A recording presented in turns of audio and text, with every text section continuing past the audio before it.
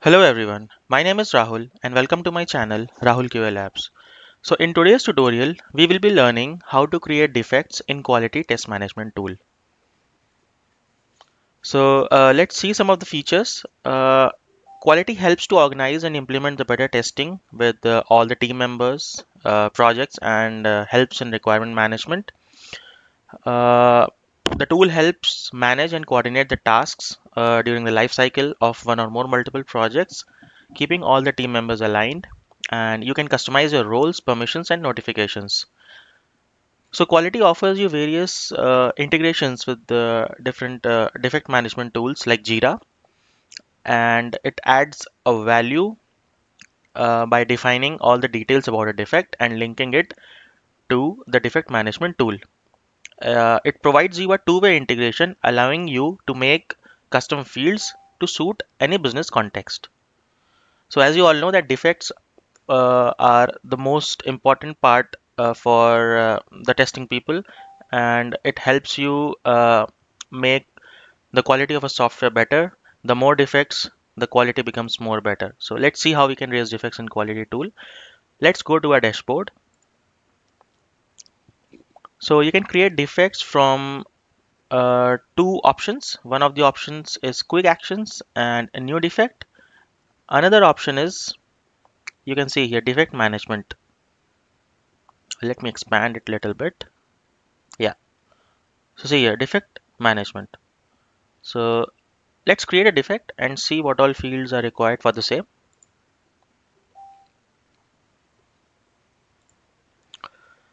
Okay, so these are some uh, default defects that are present in the tool or uh, that are offered by the tool. So this is how a defect looks like.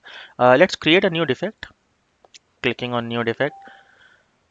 So these are some of the options that you need to select what build you are in and what is the module uh, you want to select like defect management and the requirement.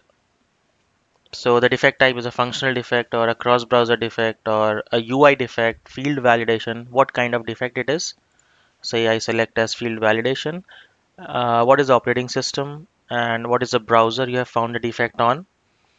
Or uh, if it is a mobile defect, what are the devices that are uh, uh there on which the defect exists? Then we have the severity of uh, the defect that can be a blocker defect or a major defect or a minor defect.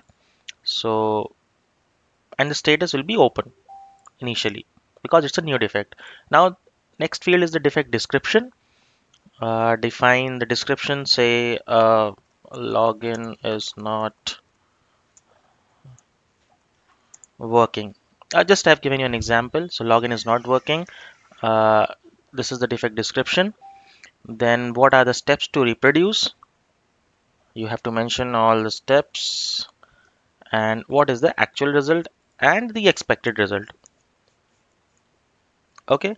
If you want to put any comments you can put it out here. Now comes the another set of fields that is assigned to uh, whom you want this defect to be assigned. Normally it is a developer. Then what is the priority of the defect low medium high you can select as per the defect that you have raised.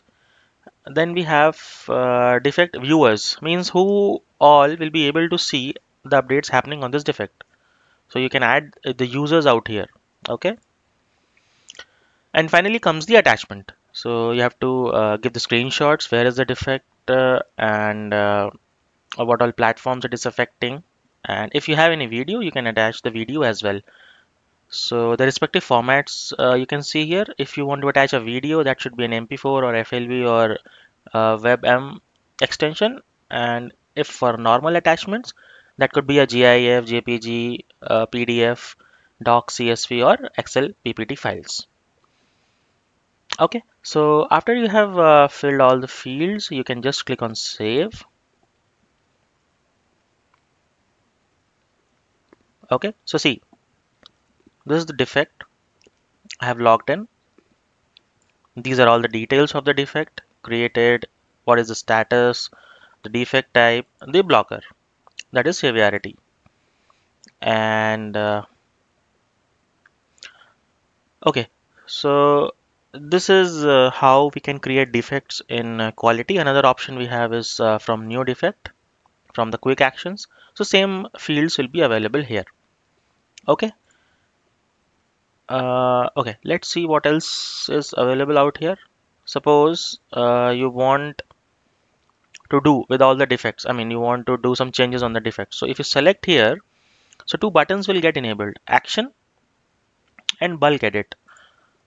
So in the action, you can delete all these defects at one go, or you can copy these defects. And if you go on bulk edit, so it will ask you like what field you want to uh, do a bulk edit on, like build or the module you want to update, the requirement or the functionality and etc. As soon as you click on apply, that particular field will be updated on all the uh, defects. Okay, and uh, this is the download template. You can uh, download these all defects into these available templates CSV, XLSX, and uh, doc.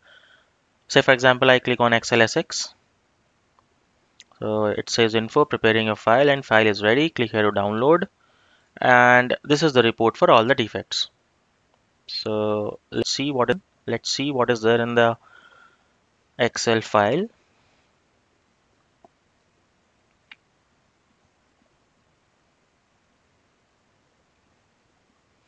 So, so all the defect IDs, the defect descriptions, along with all the fields. What are the steps? What is the expected result, actual result, project ID, requirement title, and the date reported.